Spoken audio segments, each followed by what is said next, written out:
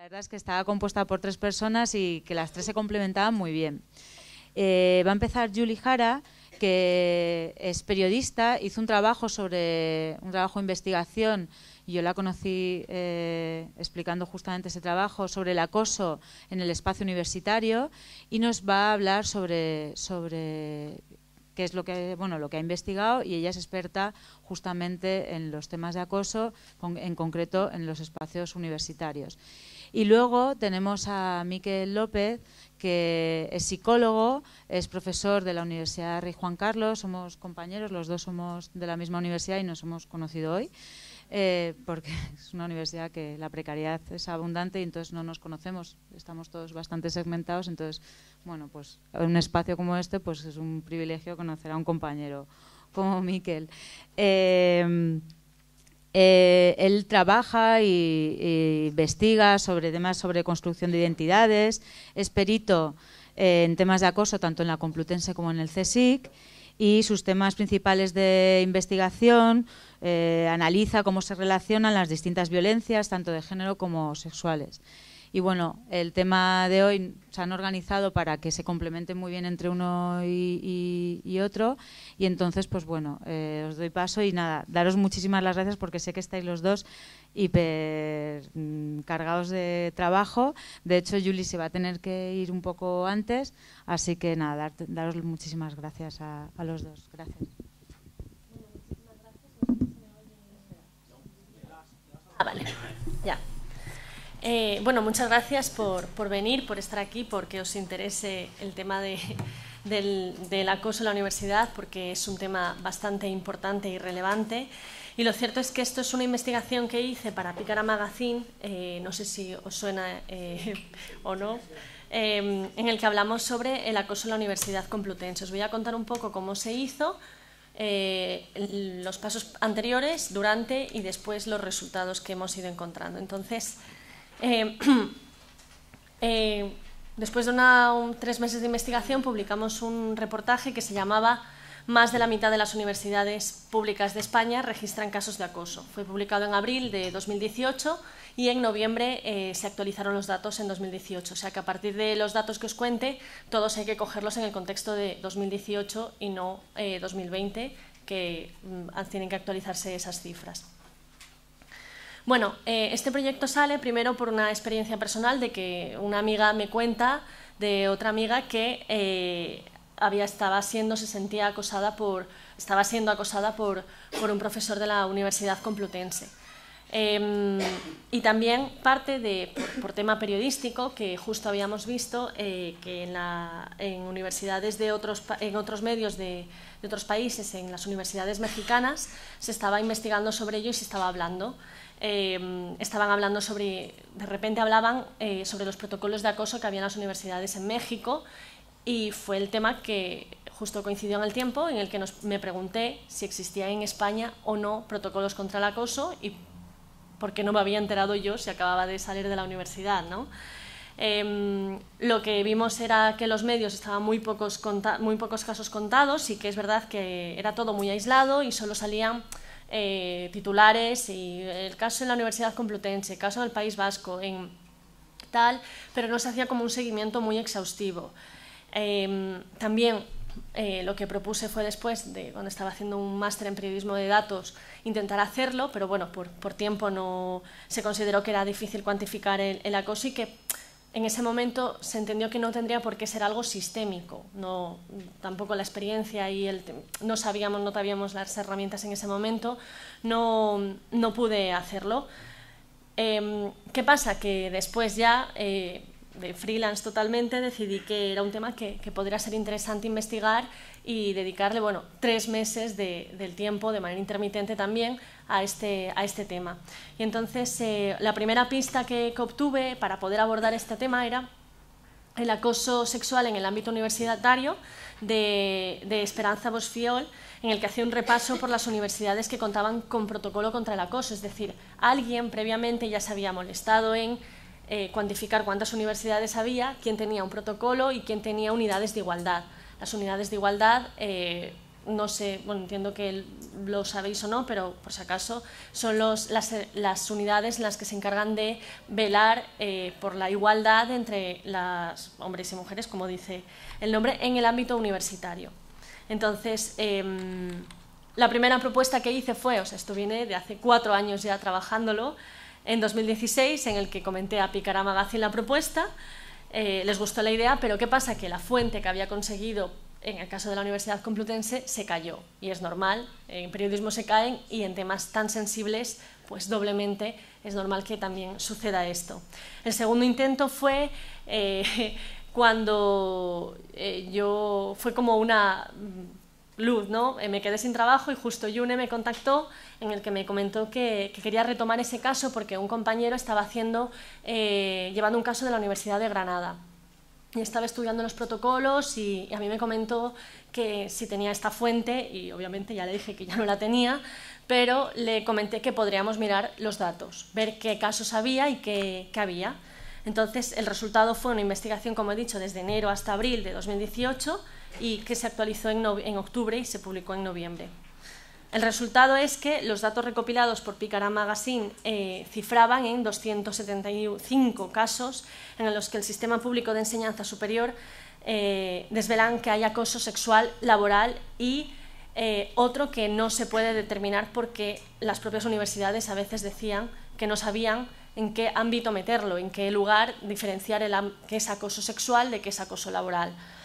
Eh, parece que es muy fácil, pero hablando con las fuentes, hablando con, las unidades de igualdad, muchas veces no sabes diferenciar en qué momento te está hablando desde una posición de poder eh, y desde un ámbito sexual, eh, o tiene un objetivo sexual después, o primero empezó como algo sexual y después acabó siendo laboral porque no podía abordar el tema sexual. Lo que vimos es que el acoso alcanzaba a todas las, a todas las, a ramas y todos los, ámbitos, desde la comunidad universitaria, desde estudiantes hasta personal administrativo, hasta personal docente. O sea, no se diferencia eh, por más alumnas o tal. No tiene nada que ver el acoso con, esto. ¿Cómo se hizo? Pues principalmente, bueno, partiendo de la base del, trabajo que hizo Esperanza Bosfiol, lo que hicimos fue llamar a las unidades de igualdad de todas las universidades y preguntarles si tenían casos de acoso. Y la primera respuesta fue cerrarse muchas en banda, otras decir esos datos no te los tengo por qué dar y otras, eh, bueno, mándame un email. Muchas, algunas respondieron por email, otras eh, nos dieron los datos por teléfono leyendo, pues ellas haciendo su memoria, tenían escritos sus datos y las que no quisieron respondernos, pues fuimos por la ley de transparencia. La ley de transparencia es la ley 19 2013, que para quien no la conozca, podemos solicitar todas y todos los ciudadanos eh, información pública eh, a partir de esta ley. Eh, es de ámbito estatal y en, él, en ella puedes, puedes solicitar información, que otra cosa es que te la den, pero tú tienes derecho como ciudadana y ciudadano a pedirla. Entonces utilizamos la ley de transparencia en el que pedíamos a través de los registros formales que pase un certificado digital, todo informatizado y tal, la información en la que pedimos eh, las cifras de cuántos casos de acoso se habían podido dar o que ellas habían podido identificar. Eh, que solicitábamos que nos las separasen por acoso sexual, acoso laboral o el que ellas considerasen que hubiese también. Eh, como, como, decimos en el texto, la cifra que en un inicio hemos calculado que, era en 2018, ahora 2020, pues ya han pasado tiempo, habrá crecido, pero en ese momento también eh, habrá sido superior porque muchas de las afectadas no denunciaban eh, por, por, miedo a represalias. Y además, algunas unidades de igualdad, pese a la ley de transparencia, decidieron no responder en ningún caso. Estas son los primeros, eh, una, lo que se hizo fue una base de datos con, todos los registros, todos los titulares se, clasificaron tal cual, quién había sido el denunciante, el denunciado, se analizaron las bases de datos, pero ya digo, era un seguimiento, no era exhaustivo y era simplemente lo que había salido en prensa. Lo que se hizo después fue directamente ya sistematizar esta información, poner el nombre de la universidad, el tipo de universidad, eh, si tiene o no unidad de igualdad, URL, si tiene protocolo de actuación, desde cuándo está, cuándo se aprobó, cuántos casos ha habido. Y luego lo que se ha ido haciendo es sistematizar todo lo que, toda la información que se iba consiguiendo. Eh, pues a quién se había llamado, en qué estado estaba, si se había conseguido la información, cómo se había obtenido, todo esto lo, más que nada lo tenemos sistematizado por si el día de mañana alguien nos pide rendir cuentas, lo tenemos registrado y podemos ir a ello. Y la vía de obtención, si veis ahí está pues cómo fue, teléfono, respuesta email, petición de información, todos esos contenidos. Y este es el resultado de una infografía que era eh, casos en abril 236 y en octubre 275. Esto eh, siempre cogedlo por favor en fechas de 2018, no es actual, por si acaso si se quiere mover en redes que se tenga en cuenta. Eh, la mayoría de los casos recopilados por la investigación que llevamos a cabo con Picara Magazine fueron que 102 eran por acoso sexual, mientras que 73 por acoso laboral. De los 100 casos restantes no se, conoce la categorización al no ser especificado por las universidades. Y esto es lo que he dicho, que muchas veces las propias universidades no saben eh, cuándo es una línea y cuándo es la otra. Esto es otro de los resultados que se hizo en los mapas, en el que tú puedes consultar en cada mapa cuántos casos ha habido en tu universidad si es que a ti te interesa saberlo eh, a fecha de 2018. Y estos son los casos en las universidades, una infografía en la que pues, van mostrando.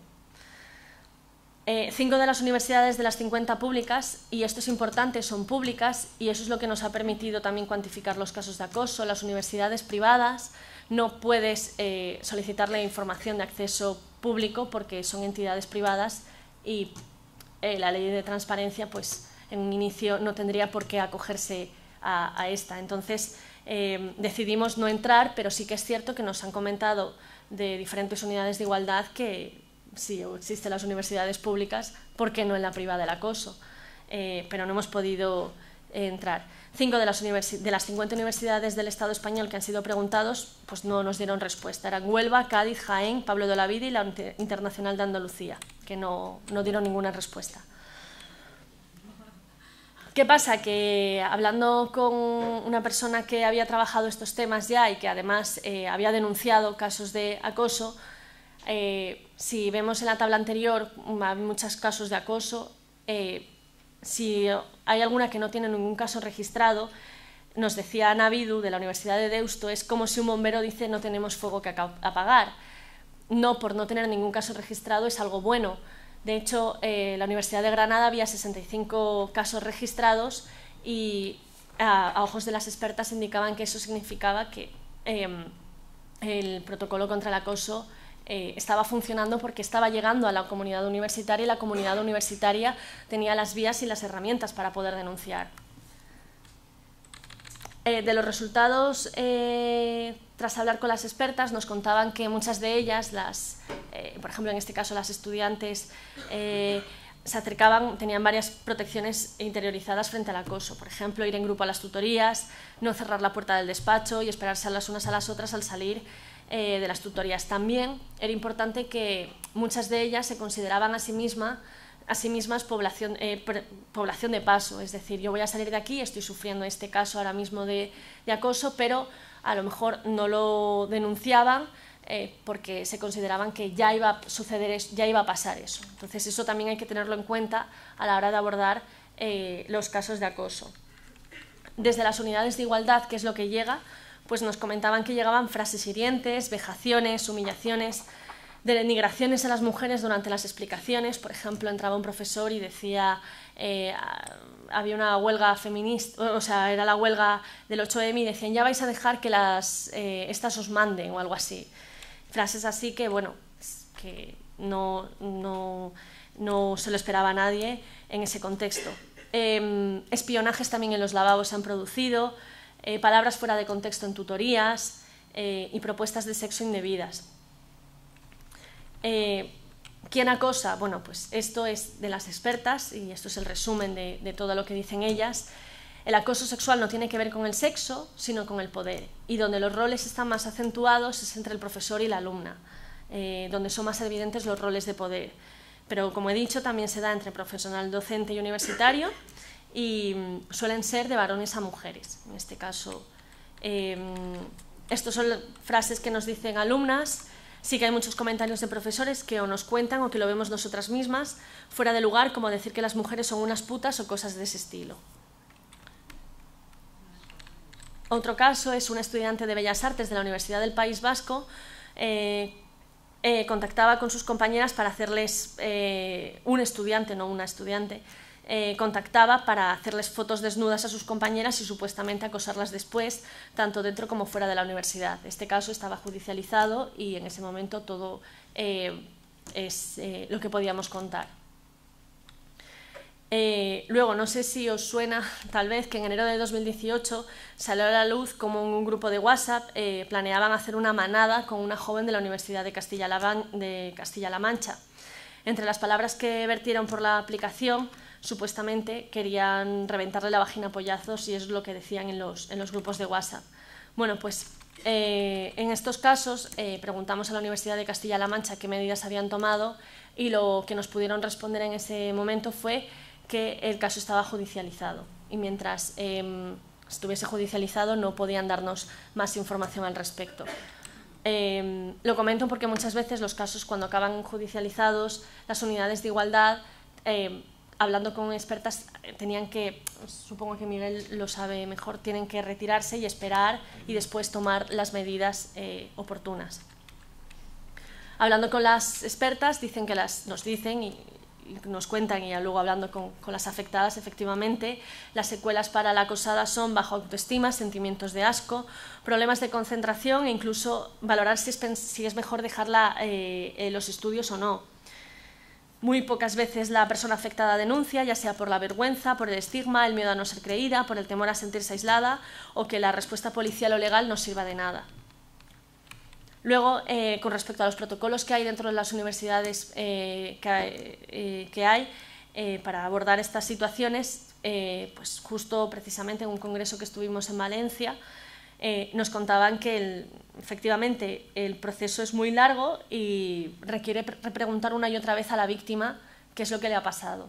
Si veis, estas son todas las fases, no sé si se ven bien, esas son todas las fases que hay que seguir para abordar el tema. Entonces, em, todas estas situaciones hacen revivir una y otra vez a las denunciantes los hechos, enfrentándose con frecuencia a la eventualidad de incredulidad, el escepticismo de quienes intervienen en las eh, diversas fases del protocolo. Luego también, revisando todos los protocolos, hay protocolos diferentes según la universidad, no hay una unificación con, respecto a cómo se debe de proceder en estos casos, eh, ni a nivel estatal ni a la hora de tratar el acoso sexual o laboral. No hay no hay una diferenciación, hay veces que no saben si tratarlo por un lado o por otro. Em, luego, em, con respecto a, si es mejor que, cada, que se unifique todo o no, hay que tener en cuenta, por ejemplo, el caso de Granada. Puede ser importante respetar la autonomía de cada universidad, establezca su protocolo y como mejor lo sabe para, eh, para que cuantos más casos pueda registrar, mejor. Em, tampoco hay un sistema sancionador claro, cada universidad procede como considera y además, en última instancia, según cuál podría decidir el rector. Eh, hablando con la Universidad Pompeu Fabra, pues nos decía que, bueno, no hay, efectivamente, cuando les preguntábamos qué es lo que había pasado en un caso de agresión, eh, de un posible caso de, acoso sexual, eh, nos decía, bueno, vamos a proceder según el reglamento. ¿Y qué significa eso? Y no nos lo decían. Entonces, no hay claro y tampoco, bueno, también hay cierta opacidad dentro de las universidades. La reacción varía según los casos. Pues cuando van a abordar estos temas, se desestima, se abre un expediente eh, disciplinario al acusador, se traslada lo sucedido a la, a la fiscalía y en contadas ocasiones el agresor acaba condenado. Este es en la catalana Pompeu Fabra, un profesor que acosaba a una alumna fue sancionado con una amonestación por falta leve. Pues como he dicho, la universidad no ha aclarado en qué consistía, pero a ella le dirigía frases que estaban y constaban y que a las que hemos accedía, a, las que hemos accedido, que es no te hace falta hacer ejercicio, o cuando apruebes la asignatura ya lo celebraremos como es debido, tal y como constábamos en un documento obtenido a través de la ley de transparencia, que eso es eh, muy útil para, que podamos eh, acudir. Em, en el informe de la Fiscalía, en el caso en el que estuvo afectada Ana Bidu, que también creó eh, no solo es de la Universidad de, Deusto, sino que también creó un grupo en Facebook que es Redes de Solidaridad, em, en el que hablan sobre, eh, en el que puedes acudir si tú te sientes afectada por casos de acoso eh, y crees que, no tienes a dónde acudir, pues ella creó eh, redes de solidaridad. Pues en el informe de Fiscalía, en el caso en el que estuvo ella, por, un catedrático que estuvo afectada por un catedrático de la Universidad de Barcelona, recalcó tres cosas importantes. Los hechos sí tendrían cabida dentro del acoso sexual, que podría haber sido condenado a penas de prisión si no hubieran prescrito, y que, tal y como reconoce la decana, esta reconocía indirectamente casos desde 1987. Eh, la Universidad de Barcelona contestó a nosotras cuando les preguntábamos diez meses más tarde con cifras inespecíficas. Eh, y de hecho, en octubre de aquel año, la propia universidad trató de premiar eh, al catedrático otorgándole una medalla de oro por su trayectoria y se retractó tras la denuncia en redes sociales de esto. Y bueno, espero que os haya servido. Esto es eh, el trabajo que hemos hecho desde Pícara Magazine sobre el acoso en las universidades públicas de España. Muchas gracias.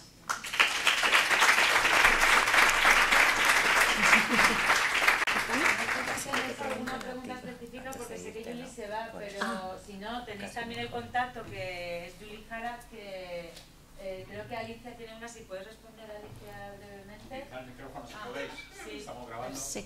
sí. Eh, también sé que te tienes que ir. Vale, pues mira, paso eh, aquí el micrófono, luego Alicia y... Vale, el, más que nada el acoso de directores de tesis hacia doctorandas, uh -huh. que ese es eh, eh, está como eh, es menos visto porque es como más eh, está sola, digamos, ellas están solas. Y yo sé de casos, incluso de doctorandas, que han tenido que dejar la tesis porque las largas, el, bueno, no solo chantajes, sino que la universidad, como tú no estás allí dentro muchas veces, que quedas con él fuera, tiene, digamos que estás más expuesta.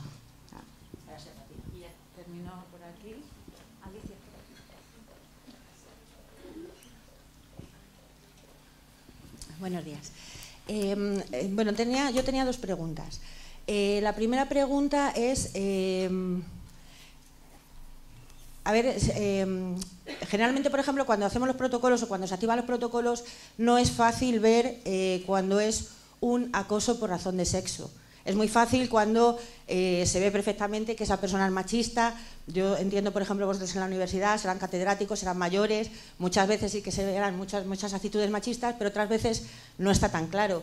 El hecho de que sea un acoso de un hombre hacia una mujer eh, no queda claro tampoco que tenga o no tenga, mm, o sea, que, pueda ser eh, un, acoso laboral puro y duro o un acoso por razón de sexo. Y luego, y la otra pregunta que quería hacer es eh, un tema también que tenemos mucha controversia en los protocolos de acoso, es con el tema de las leyes de protecciones de datos. Em, generalmente las empresas sí que aceptan, bueno, aceptan porque no tienen otro remedio. Cuando, cuando se detecta que efectivamente ha habido un caso de acoso, eh, generalmente se sanciona al, al acosador Em, y, efectivamente eso se te informa porque eh, en realidad las, empresas tienen que informarte de todas las sanciones graves, bueno, en nuestro caso, bueno, las sanciones muy graves que dice el estatuto, ¿no? Y, entonces, eh, en ese caso, por ejemplo, se te informan. Pero hay otros muchos casos en los que, en el resto de casos, digamos, no te quieren informar cuando eh, a nosotros, por ejemplo, como negociadores de, esos protocolos de acoso, nos parece importante porque puede haber una reincidencia. A lo mejor los casos son leves, pero son reincidentes, y eso también nos parece importante. Y entonces ahí siempre tenemos el tema de hasta dónde la LOPD permite esa, invisibilidad, digamos, del agresor cuando se ha entendido que no es eh, suficientemente relevante y cuando no.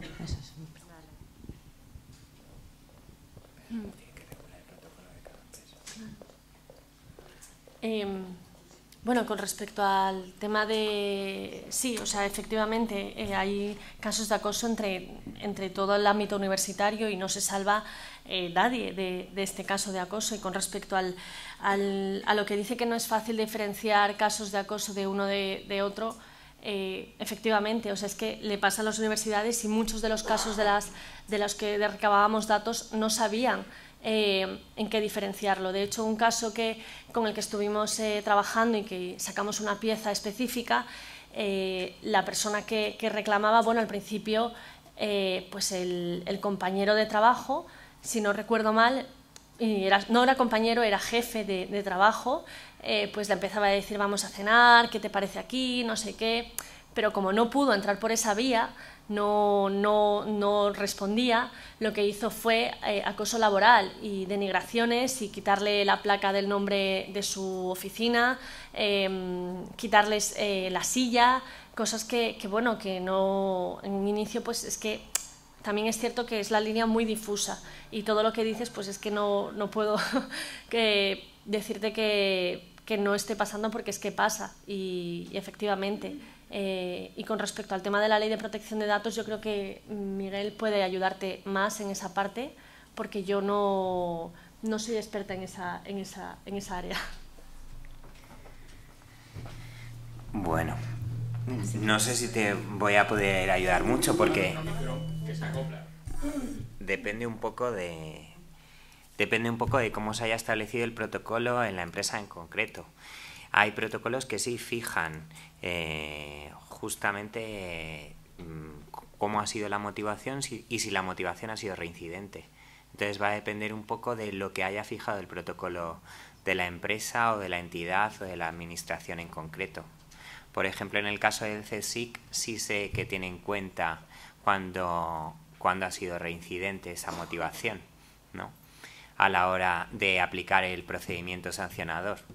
Entonces va a depender un poco de, de lo que haya fijado la empresa. Tenemos que tener en cuenta que la legislación no hace una regulación tan exhaustiva. Por lo tanto, no es una exigencia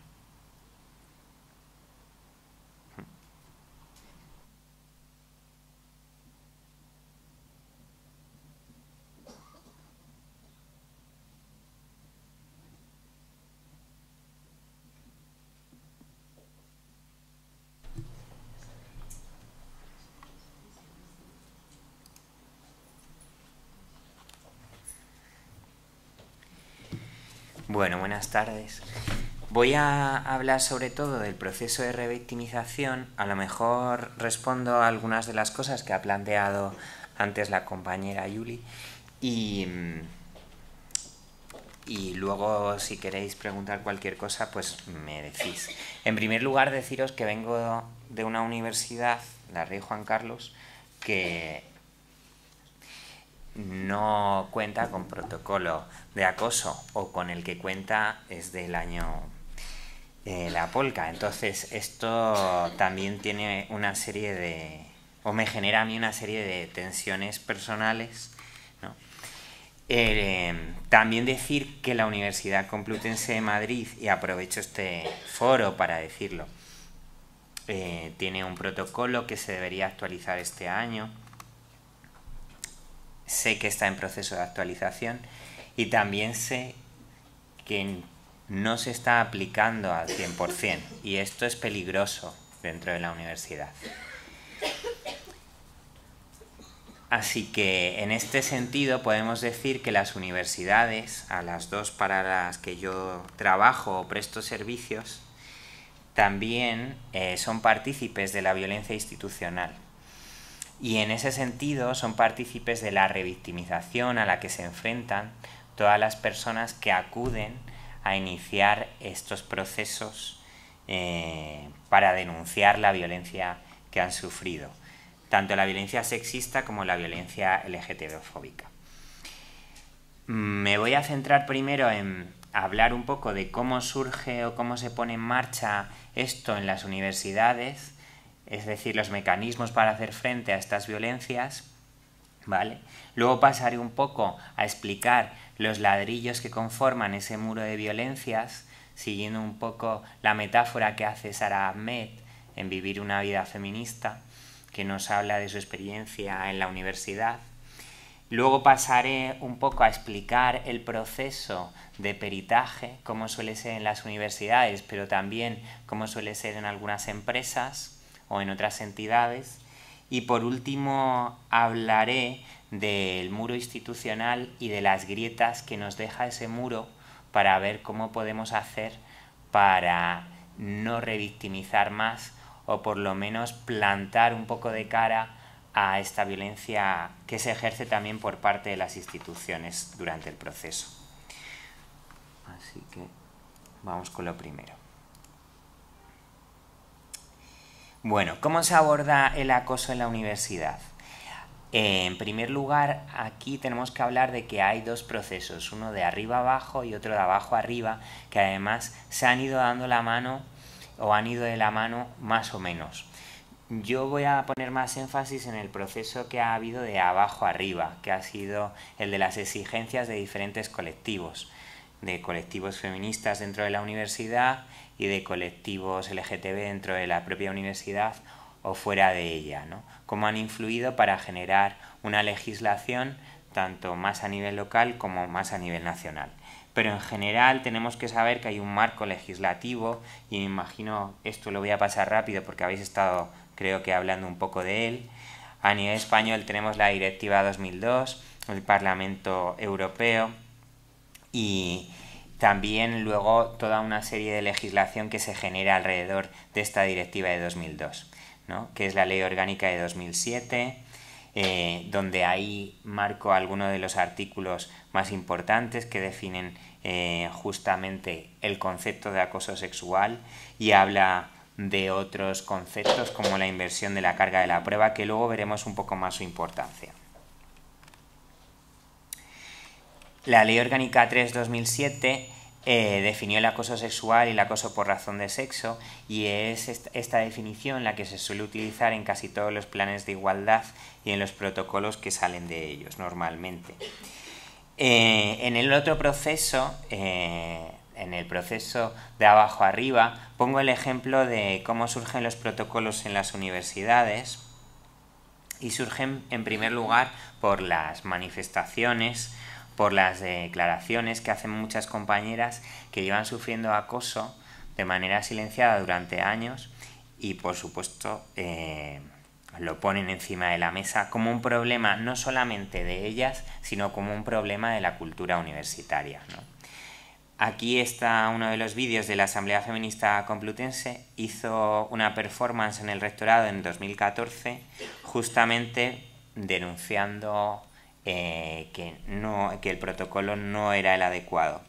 También algunas de las denuncias que han llevado a cabo las compañeras y otros compas, también eh, de profesores que habían cometido esas violencias y sobre los cuales la universidad no estaba haciendo absolutamente nada. Bueno, ¿cómo surge el concepto de acoso sexual? Surge en el contexto universitario y surge en el año 73, no surge como acoso sexista o acoso por orientación sexual, sino que surge como una cuestión de problemas relacionados con, el hecho de, ser mujer dentro de la universidad y las violencias que sufrían estas mujeres. En el 74, eh, en la Universidad de Cornell, empieza a haber ciertas denuncias de ciertos colectivos feministas dentro de la propia universidad y se acuña por fin el término de acoso por razón de sexo o acoso sexista. Y a finales de los 70 y 80, según va habiendo más mujeres en las universidades estadounidenses, se va ampliando este eh, espectro y también según se van incorporando al mundo laboral, eh, va surgiendo mayor legislación en este ámbito. Por eso decía que ambos sistemas, el de arriba abajo y el de abajo arriba, tienen una importancia grande en la definición del acoso. ¿Mm? No me atrevería a decir cuál tiene mayor importancia, pero desde luego eh, parece que es uno el que lucha porque se implante eh, no solamente la conceptualización, sino la problematización de lo que está ocurriendo. Bueno, mm, dentro del plano de algunos ladrillos que nos dice Sara que hay en este muro contra el que nos damos dentro de las instituciones, dentro de las entidades y dentro de las empresas, hay muchos estudios. Yo me gustaría señalar algunas declaraciones que están en el estudio de, Rosa Valls eh, y de Esperanza Bosch, eh, en el que las víctimas recopilan algunos de los argumentos que, que, dan las víctimas de cómo han sufrido ellas su situación de violencia. ¿no? Eh, esto lo vais a tener luego, así que habla de la violencia, de los tipos de violencia, de la frecuencia, de los sentimientos, de los lugares, habla del impacto que tienen para ellas, de lo que implica. Bueno, y en este implicar, en este tipo de violencias, en estos lugares, lo que cobra también especial relevancia es el proceso. ¿Cómo es el proceso dentro de los casos de acoso sexista? Vamos a ver en sí mismo que el proceso es bastante revictimizador. ¿Por qué digo esto? Bueno, pues vamos a verlo. Primero, se tiene que poner normalmente, en casi, según marcan casi todos los protocolos, se tiene que poner una denuncia como apertura del procedimiento. En primer lugar, esta denuncia normalmente la tiene que, tiene que ir dirigida, en el caso de las universidades, a la delegada del rector para la unidad de, o para la igualdad de género. ¿Vale? Pero además este procedimiento normalmente lo tiene que iniciar la persona que sufre la violencia y es así recomendado, aunque no es así exigido. O sea, que aquí ya entramos en las redes formales y en las redes informales. Quiero decir, es así recomendado cuando tú acudes al registro, es así recomendado cuando tú acudes a la unidad de igualdad para decir lo que te ha ocurrido. No es así exigido porque lo que marcan los protocolos es otra cosa, y es que no tiene por qué ser la persona acosada la que pone la denuncia, puede ser una representante o puede ser cualquier persona dentro de la universidad, en este caso, de la comunidad universitaria, que haya visto, que haya observado esa violencia. ¿Mm? En algunos protocolos ya empieza a reconocerse que simplemente ha tenido que haber un indicio de esa violencia para que el caso tenga que empezar a ser investigado. No es el caso del protocolo de la Universidad Complutense ni en la Universidad Autónoma de Madrid, que es mucho más lioso, donde ni siquiera se diferencia bien claro entre acoso sexista y acoso eh, por razones laborales. Eh, y tampoco lo es así en el de la Universidad de Rey Juan Carlos. Y si siguiésemos el estudio que ha hecho Yuli en muchos otros de los protocolos que plantean el resto de universidades. Pero bueno, después de haber planteado la denuncia, se siguen esta serie de pasos, que no sé si veis bien ahí, pero bueno, en primer lugar, la unidad de igualdad de género o la unidad de igualdad tiene que designar a una persona experta. Dependiendo de los protocolos de los que hablemos, esta persona experta puede ser un perito, un mediador, alguien del comité eh, de género de la empresa. En el caso de las universidades, esto tampoco queda claro. De hecho, por ejemplo, en la Universidad Autónoma de Madrid fija que la figura es un mediador y en cambio en la Universidad Complutense fija que la figura es un perito. ¿sí? La Universidad Rey Juan Carlos ni siquiera fija cuál, tiene que, cuál debe ser la figura. La realización de, de la designación de la persona experta tiene que transcurrir en un plazo máximo de siete días desde que la persona ha iniciado la queja. Estos eh, plazos no se suelen cumplir. Esto es lo primero. La persona ha tenido que poner la queja previamente por escrito con todos los detalles, con lo que eso ya implica. Es decir, que la persona se expone primero a la queja, luego la universidad dice quién es el perito, dice quién es la persona experta y la persona tiene que volver a contar lo que ha puesto en la queja. ¿Mm? O sea que ya empezamos mal con el proceso cuando el proceso debería iniciar directamente con la persona experta. O sea, yo acudo a un lugar que es un espacio seguro en el que cuento lo que me ha pasado. Y lo cuento una vez. No lo tengo por qué contar ya dos o tres o cuatro o cinco. Pero bueno, después de designar la persona experta, esta persona puede realizar, tiene o tiene la obligación la persona experta de realizar este peritaje en un periodo no superior a 21 días, en el que tiene que recopilar toda la información y además tiene que presentar un informe. vamos a ver algunas peculiaridades del informe dentro de las universidades que no es igual dentro de otras instituciones. Y luego, por último, después de esa presentación del informe, hay una reunión de la comisión, en el caso de las universidades, de la Comisión de Igualdad, eh, para tratar estos temas en una comisión en la que hay gente que no tiene por qué saber de estos temas. Solamente está la delegada del rector que sabe de estos temas. El resto no tiene por qué saber.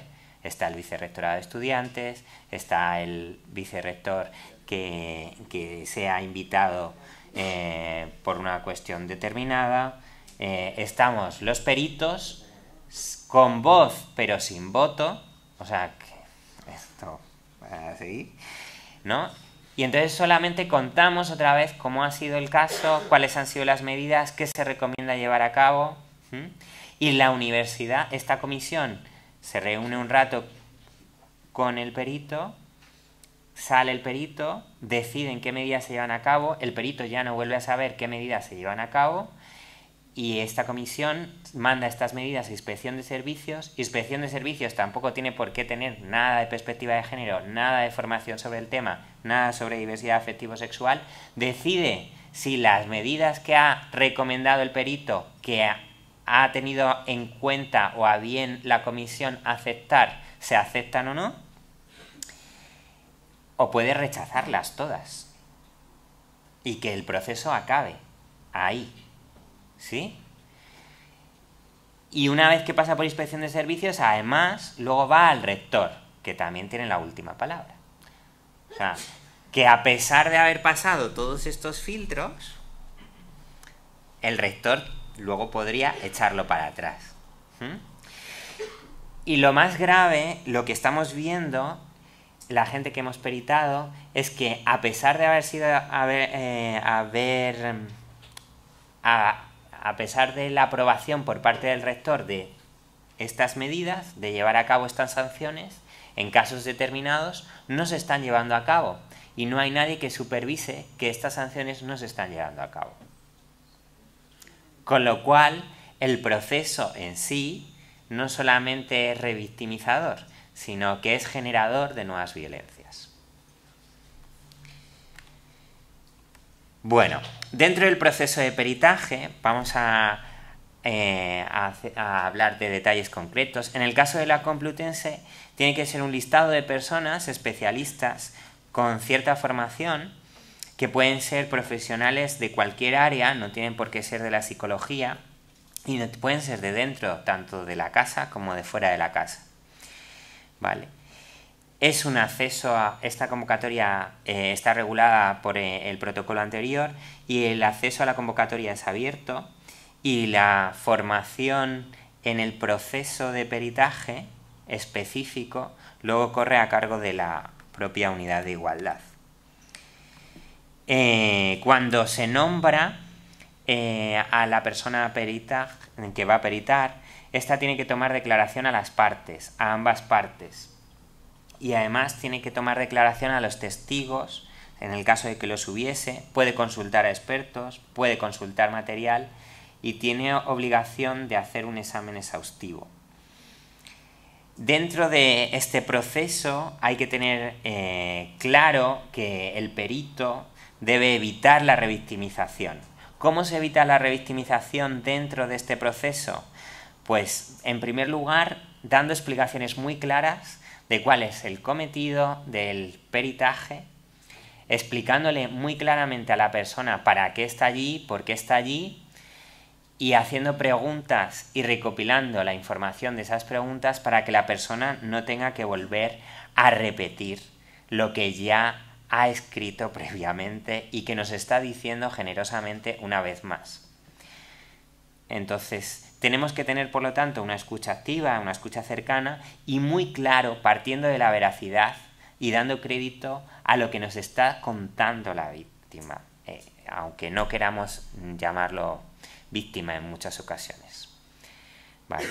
Pero esto es un punto clave, partir de la veracidad, porque la persona que nos está contando y nosotras estamos acompañando en ese proceso de peritaje, la persona que nos está contando no tiene que demostrar la culpabilidad de nada.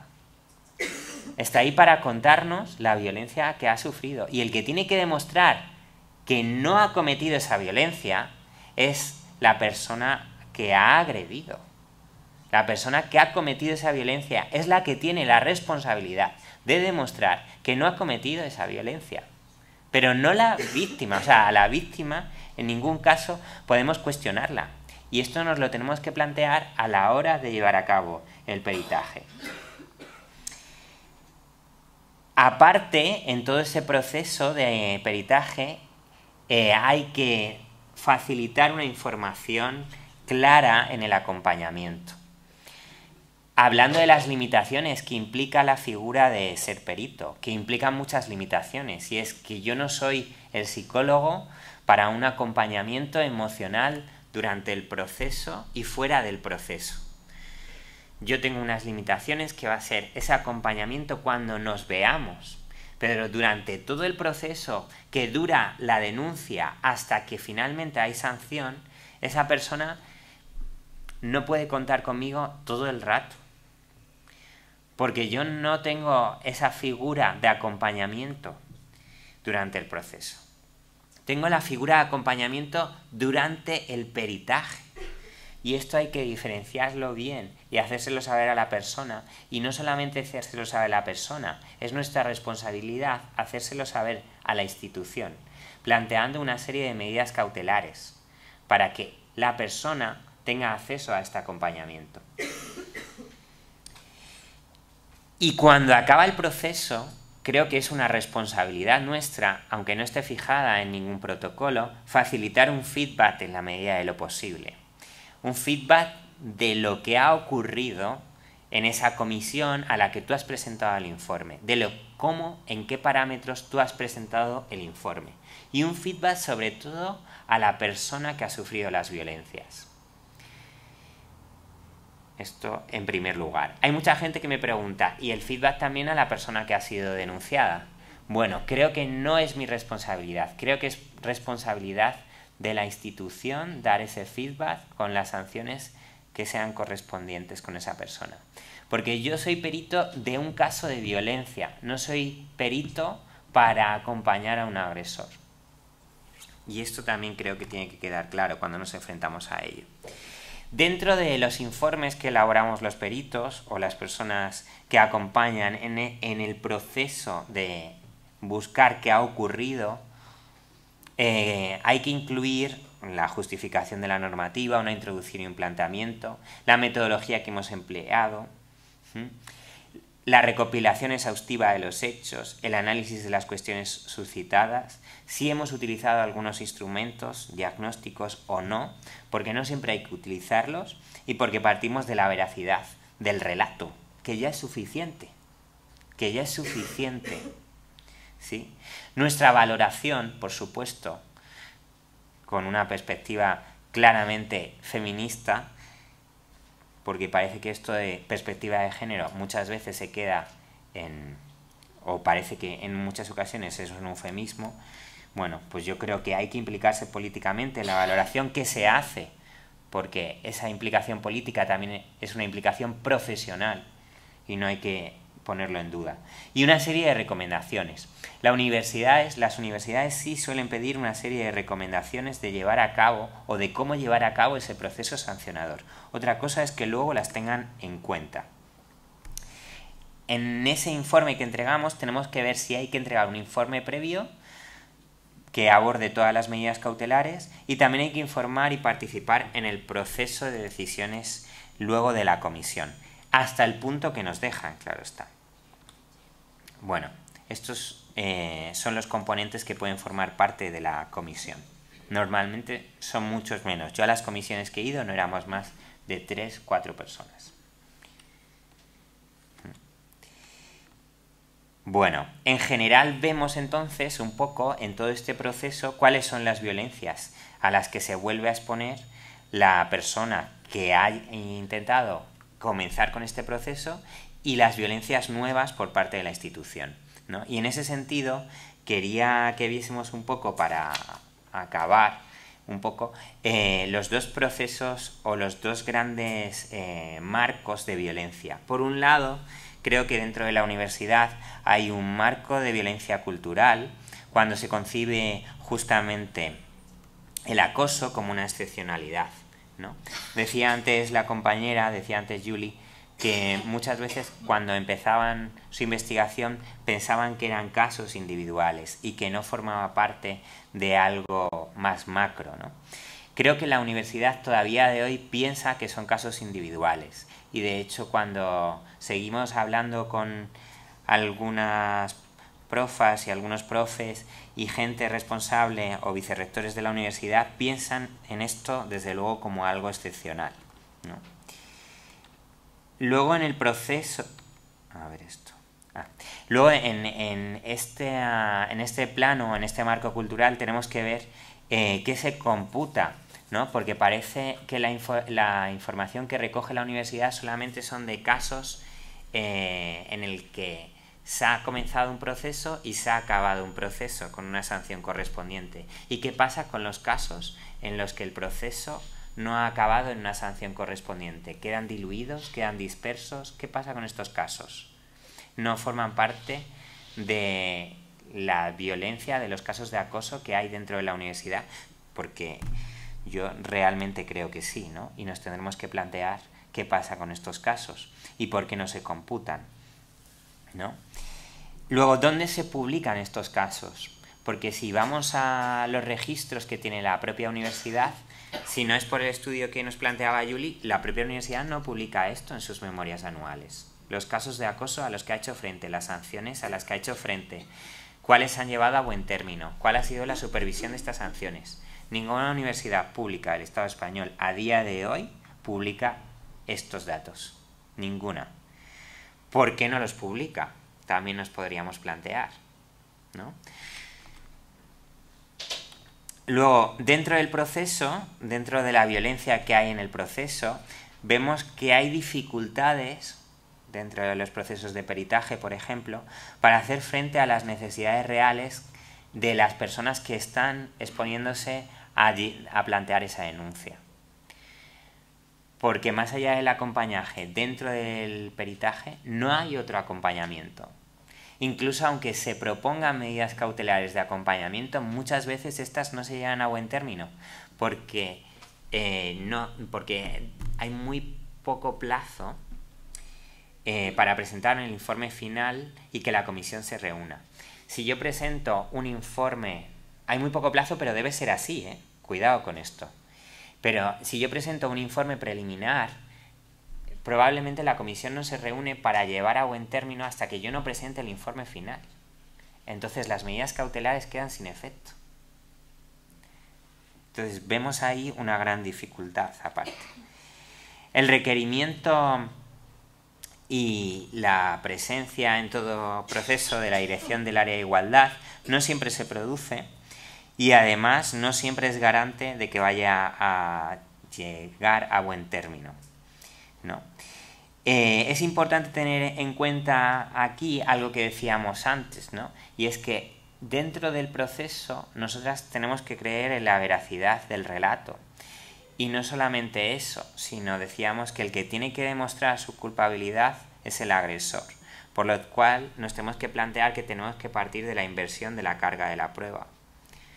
Y también nos tenemos que plantear hasta qué punto son necesarios unos indicios eh, para iniciar este proceso. Porque en muchas ocasiones el baremo que se marca para iniciar este proceso es que ya haya existido una violencia real. Entonces parece que el proceso lo que va es a una intervención terciaria, pero en ningún caso a una prevención previa, y mucho menos cuando las medidas cautelares normalmente quedan sin efecto. Bueno, eh, en ese sentido, nos tenemos que plantear, o nos dice, por ejemplo, en el análisis que hace Sara Ahmed, eh, que la universidad lo concibe o concibe estas violencias como un problema de otros. ¿no? Concibe al acosador o la violencia en concreto como casos individuales, cuando forma parte de la cultura organizacional. ¿Por qué hace esto la universidad? Bueno, Pues porque lo que intenta la universidad es reducir el daño a la institución, porque concibe que esto es un daño para la institución, para la imagen de la institución. O puede ser un daño a la amenaza de un profesorado que por supuesto siempre es súper majo, ¿sí?